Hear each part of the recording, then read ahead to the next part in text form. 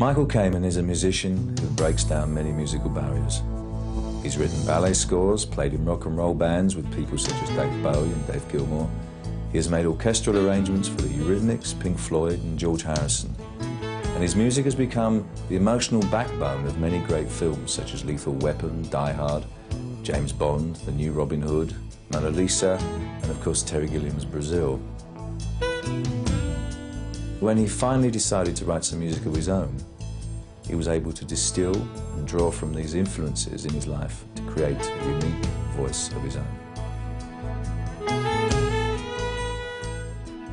There was always a piano, and I was always banging on it, and always sitting in the middle of total chaos. There was always uh, a world going on around me, and I was sitting right in the middle of the living room, completely and happily buried inside the piano. And I, I wanted to be a composer. And when I was really little, as, as soon as I could form the thought, I, I was thinking, yeah, that's a good job. My older brother also took piano lessons. And he had Liszt and Mozart and Bach and Brahms and all those guys in their little plastic bus. And I used to look at them and think, oh, that's very jolly, isn't it? I'll be a composer when I grow up. You know, I never studied composition. I never studied arranging. I, I, I barely studied piano. I studied oboe. Uh, one of the special things I didn't study was conducting. And so it was, uh, to my horror, the first time I did an, a, a, film score, I just put the last notes on paper and then sort of looked at the orchestra taking shape in the studio and said, oh my God, I got to conduct. And you know, I, I, realized it was up to me. Uh, up till very recently, the only time I'd ever conducted was in a studio. I'll start with Brazil.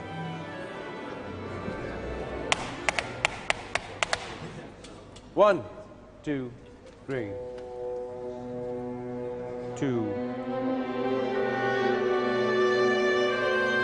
Go.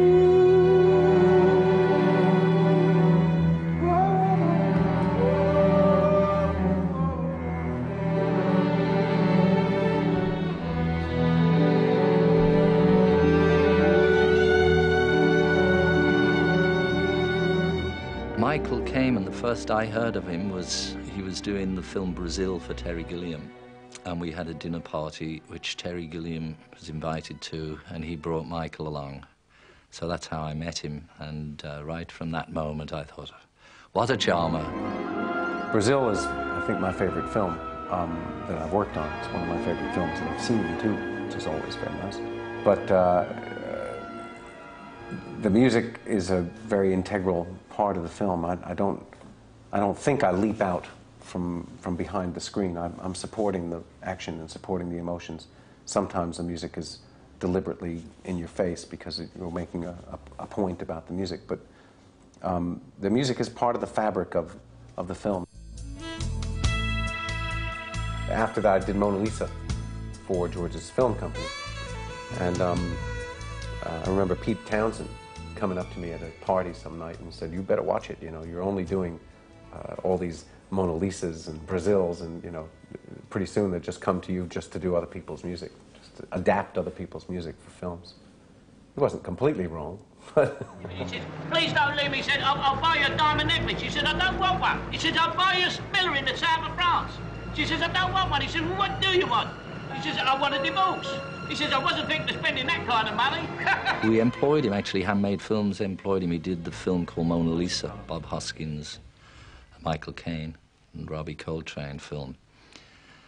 And uh, then after that, I did uh, the music with Michael to this film called Shanghai Surprise, you know, the famous Sean Penn and Madonna movie, which was really fun because um, for me, I've never done film scores. Well, I've done one score before, back in the 60s, but in that business, you know, you're always working behind the edit. You know, you can't start until they've got the edit.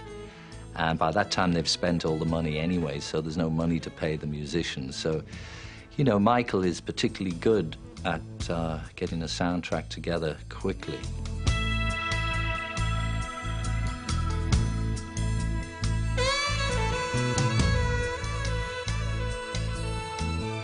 The nice thing about him is that he's a trained classical musician and uh, he's not a musical snob. You know, usually a lot of classical people tend to, uh, you know, feel a bit above everybody else. I mean, they forget the most classical music was actually pop tunes written back in the 16th century or something. But no, that's the nice thing about Michael. His his musical tastes will go right across the board, you know, through all kinds of ethnic music, rock and roll. I mean, he's been in rock and roll bands. He did a film score once to a, a little sort of cult movie called Polyester, which not too many people know about. Polyester. You know John Waters, who made Pink Flamingos, all those Divine movies. He made a movie called Polyester in Smellorama or Smell-O-Vision. I can't. Odorama. That's what it was. Everybody had a card a scratch and sniff card when you went into the cinema and there was a doctor up in the corner of the screen who would point to a number and a bell would go off. I think a little piece of theme music that I wrote. And, and you'd, you'd scratch and sniff this card and you'd see somebody pulling some roses in your face and you'd sniff the card and it didn't smell at all like roses and then she'd stick some old sneakers in your face and, and that was the smell you smelled. Once I'd started writing a lot of movie scores, I realized I needed to write a piece of music of my own um, because it's very simple when you're writing uh, score for Lethal Weapon or the score for uh, Baron Munchausen or the score for Brazil to have your brain taken from there to there, from the 17th century to, you know, whatever collaborations you get into. It's important to remember your own voice, what it is you had to say. After a while, I, I found that I, I wasn't writing songs anymore. I was writing pieces. And I couldn't come up with words, although I could sing the tunes. Um, I'm not really a piano player. I can play at the piano, but I'm really not a pianist. Uh, I'd become one of those little plaster busts that used to sit on my piano. I'd become a composer. And I needed a voice to play my music. I needed a structured sound, to focus for the stuff I was doing. And so the focus for these pieces is David Sanborn.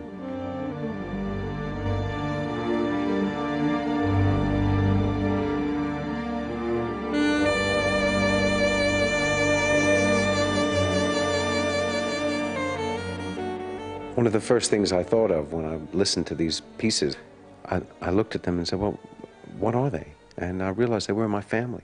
So one by one, I figured out which tune was which person.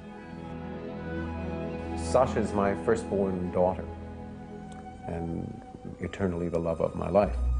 Um, she's got her head in the clouds, has always had her head in the clouds, and I hope she always keeps her head in the clouds. Uh, the song was just very airy, I thought.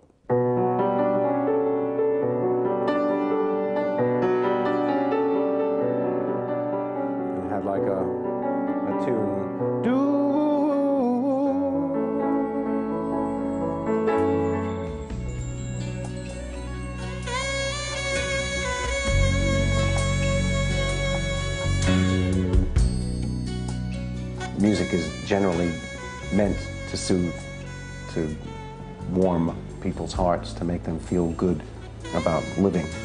And uh, the music that I write for myself and for everybody else to listen to if they care to is about life. It's it's a, a song to humanity.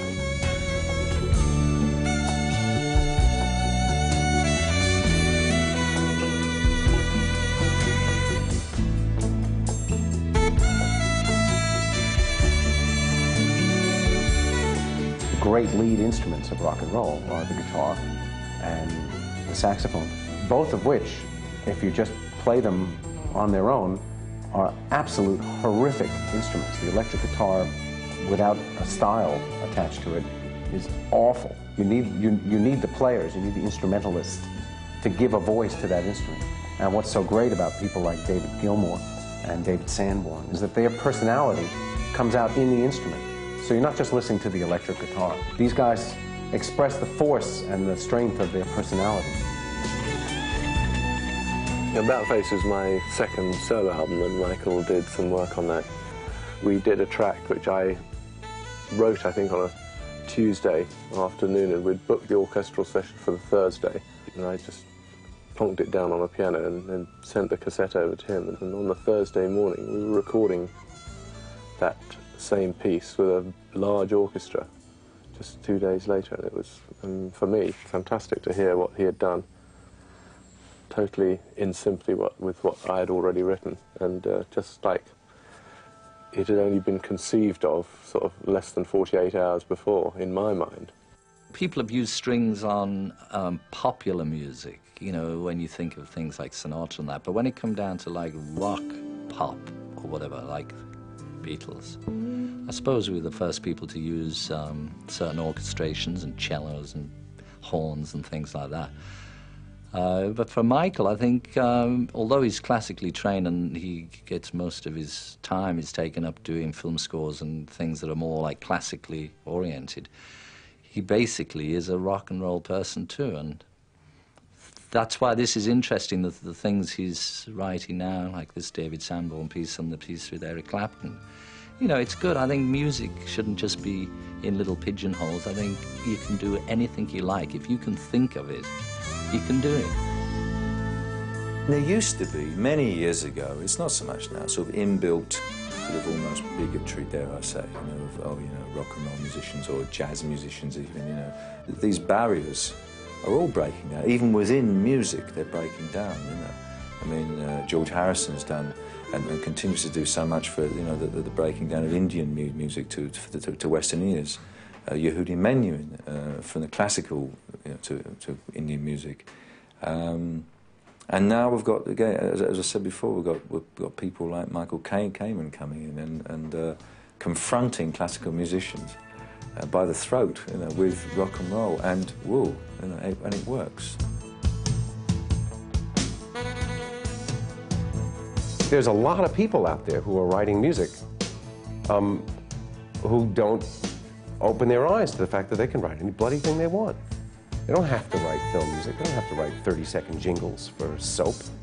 You know, you don't have to do that. The fact is that, that studio musicians don't have to sit there playing long, dull notes for somebody's TV commercial. They can make their own music. You know, it's our responsibility to make our own music. Zoe's my second daughter. She's now 10. And um, when David was playing the song, he was being very aggressive because that's his style. And I said, Come on, man, it's Zoe. This is for Zoe.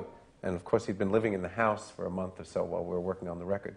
And he's heard me always shouting upstairs. We got five stories here going, Zoe! Oh, Zoe! And that's the first phrase he plays on Zoe. He goes, Oh, Zoe! Oh, Zoe! with the saxophone. This is Zoe, and this is Zoe.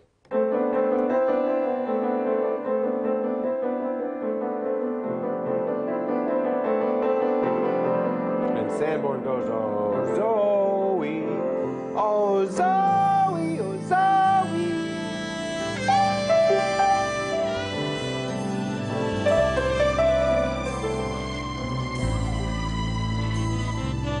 I spent many, many years picking out tunes on the piano um, and trying to combine them in various forms. And I'd get a bit and I'd say, oh, I know what that's for. You know, oh, that's a good bit. Um, and I'd kind of file it away quietly while I went on writing movie scores or arrangements for somebody. And uh, eventually it was time to set it all down. And uh, luckily, most of the ideas came back. And sure, I react to the world around me. And that's what partially my music is. But it's never conscious. I never, you know, go out looking for pathetic situations so I can write pathetic music. Sometimes happy things happen, you write really sad music. And sometimes really tragic things happen and you, you find a kind of peace inside yourself and you write some, something very beautiful. I've always wanted to make a piece for a great instrumental soloist and possibly the best instrumental soloist I know is Dave Sanborn.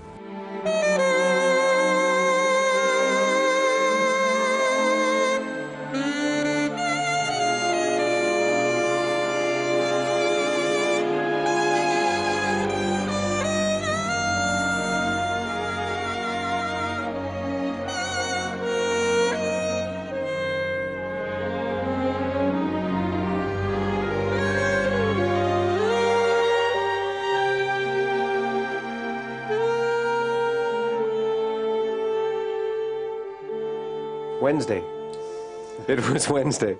I was actually on the road with Stevie Wonder in 1972, and we opened for the Rolling Stones. And uh, Sanborn burst into a, a studio that I was making an album in. after a, one particularly bacchanal evening, He literally burst into the studio, screaming at the top of his lungs in the middle of a take. just kind of rolling in on the floor. And apparently that made a big impression on Michael. He decided at that moment that I was the right person to play on that record. and we played together as often as we could ever since.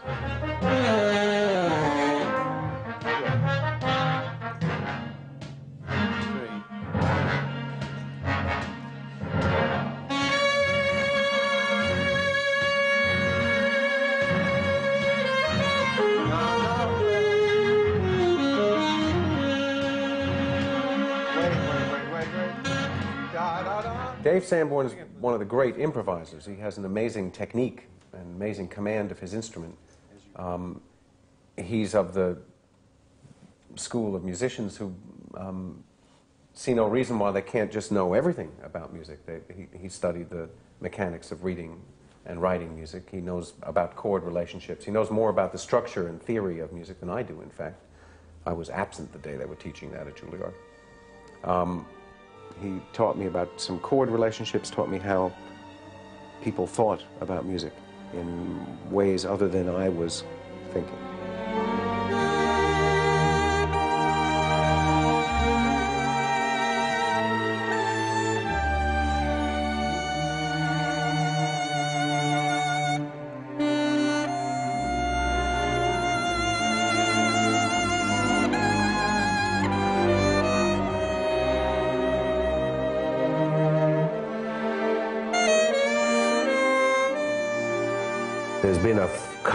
Saxophone concertos written that I'm aware of.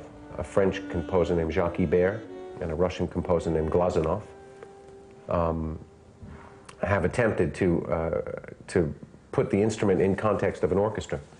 Uh, it's usually not done. The sax is the bastard child of the orchestra, and they never use it.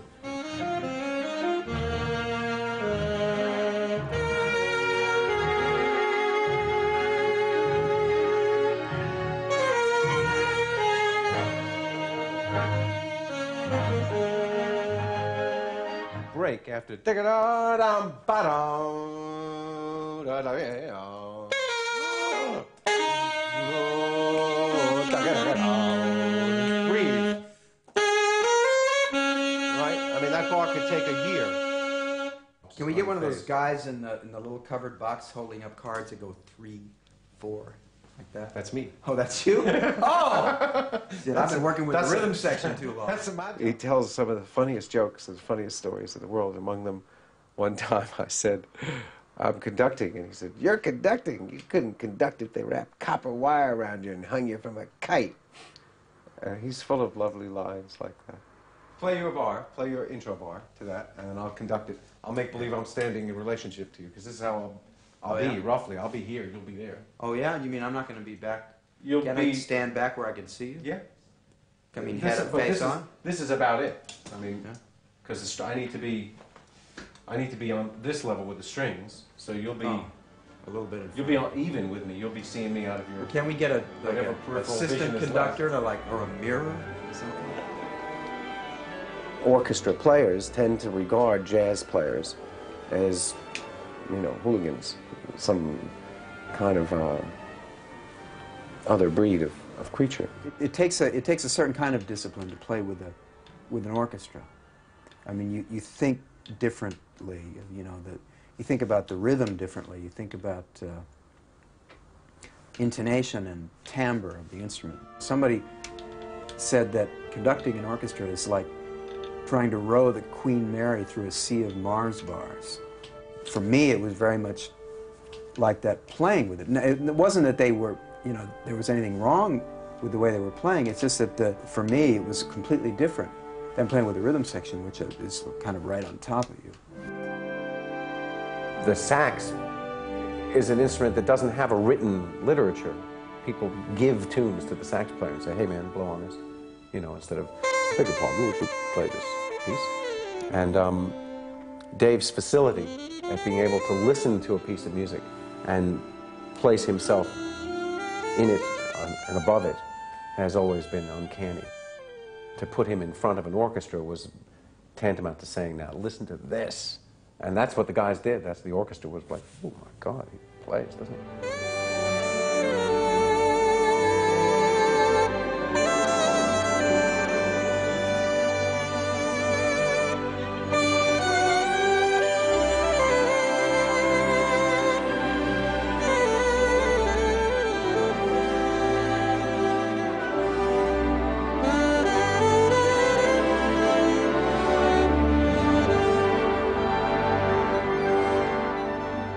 There's nothing in the world that compares with being able to stand up in front of a big orchestra and wave your hands about until the music stops and then turn around and bow.